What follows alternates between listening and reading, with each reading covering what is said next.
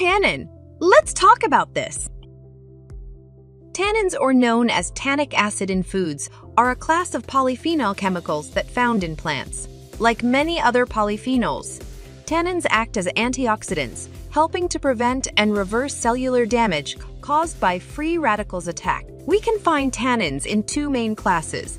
There is hydrolyzable tannins and proanthocyanidins. Tannic acid is safe when used in the amounts found in foods, but in large amounts, tannic acid can cause side effects such as stomach irritation, nausea, vomiting, liver damage, and increased chance of developing nose or throat cancer.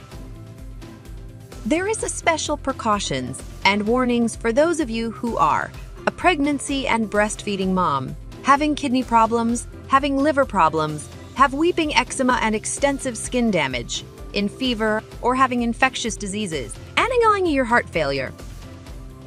What about tannin health benefit? Tannins are multi-talented inside our bodies, protecting us from a variety of health threats. Here are a few that have been studied so far. Tannins and heart disease. Studies on human subjects in 2012 documented the cholesterol-lowering ability of cookies containing the tannin-rich fiber of young persimmon fruits. Tannins and cancer. Various tannins can trigger apoptosis in cancer cells, inhibit their proliferation, and make it harder for them to survive. They can repress the expression of certain genes that create new blood vessels to feed cancerous tissue. And they've been shown to inhibit carcinogenic processes throughout the body tannins and bacteria.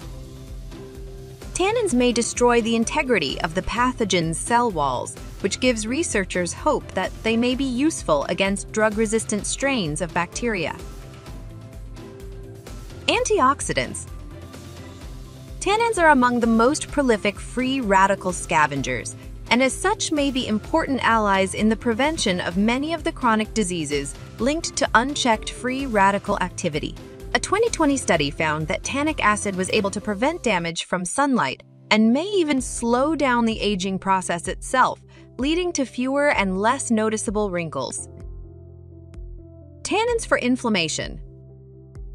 Recent rodent studies have shown that traditional Chinese herbs containing tannins can reduce mucosal inflammation by reducing levels of pro-inflammatory molecules, encouraging healthy gut microbe populations, and strengthening the gut lining to keep irritants out of the colon in the first place.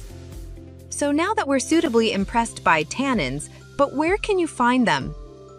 Here's some foods and beverages that are high in tannins. Tannins are naturally found in a variety of edible and inedible plants. Plants produce them as a natural defense against pests. Tannins also contribute color and flavor to plant food.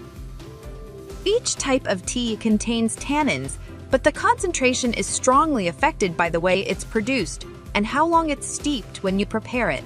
Many spices also contain tannins and other phenolic compounds. The commons are cinnamon, cloves, ginger, and black cumin seeds.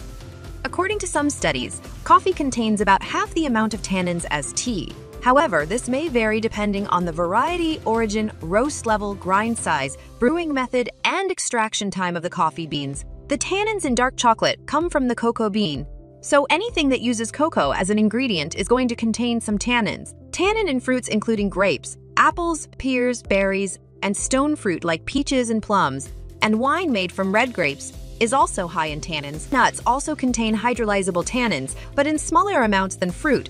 The nuts highest in tannins are almonds, pecans, walnuts, hazelnuts, pistachios, and peanuts. Dried beans have some tannins, mostly located in the seed coat. The simplest solution is to cook your dried beans and not eat them raw. Thank you for getting to know me. Don't forget the vitamins.